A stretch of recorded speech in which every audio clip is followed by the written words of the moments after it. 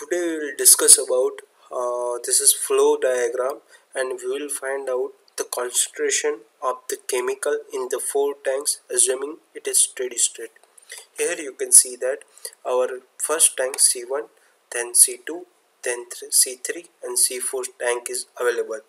Our mass flow rate is uh, means volume flow rate is 2 meter cube per second uh, and our concentration of chemical is 25 mg per meter cube. It will enter in tank C1 and it will flow with mass rate of 4 meter cube per means uh, volume uh, flow rate of meter cube per second. And it will go for C4 2 meter cube per second and from C2 it will uh, input as 4 meter cube per second.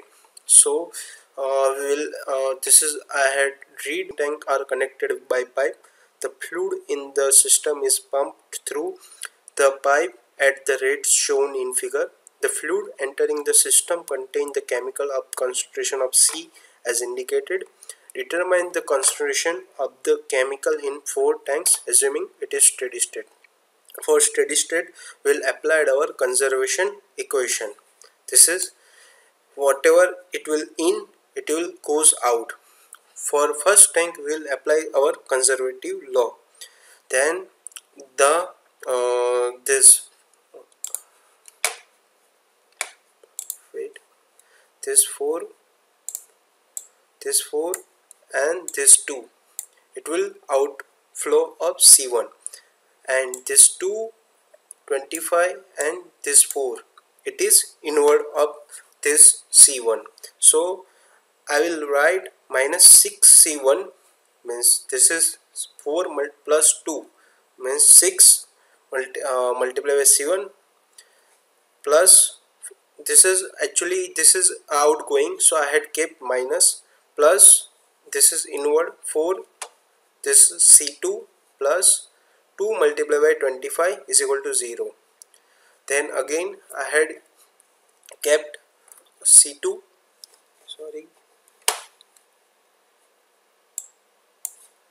this is C2 so for C2 the 7 3 this uh, 3 and this is 4 so total 7 is in and 3 and this 4 it is going outward. So 2 and this C3 it will come. So I had kept 3 C3 and this is for C4 here you can see that. Same again for C3 for C1 whatever is uh, positive because it is inward so 4 multiplied by C1 and minus 4C3 why? Because this is going uh, outward direction means it is going out.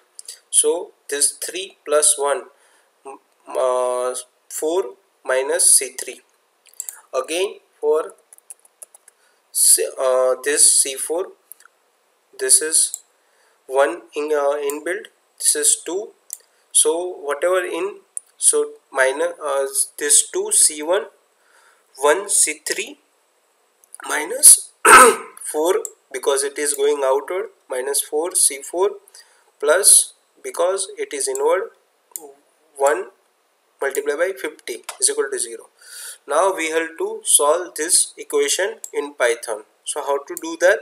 I will write one equation. I will import our numpy as np i will write np dot array. Our equation 4 comma 4 uh, minus 6 4 0 comma 0 here you can see that.